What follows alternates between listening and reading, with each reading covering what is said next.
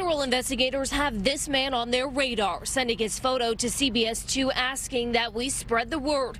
Police say his route rarely deviates, sticking to busy Manhattan streets where he can blend back into a crowd.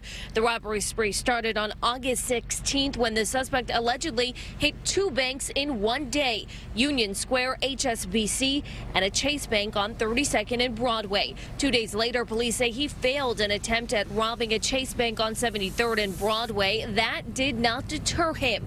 On August 21st and 24th, he tried to rob two more Chase banks.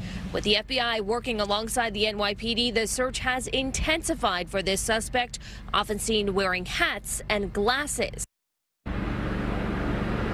The FBI says before trying to rob this bank on 72nd and Broadway, he attempted to rob a bank in Harlem. Police say that this man, again, seen with glasses and a hat out of the seven robbery attempts, he has made away with money in four of those cases. It is not clear how much he has stolen. We're live on the Upper West Side. Magdalena Doris, CBS 2 News.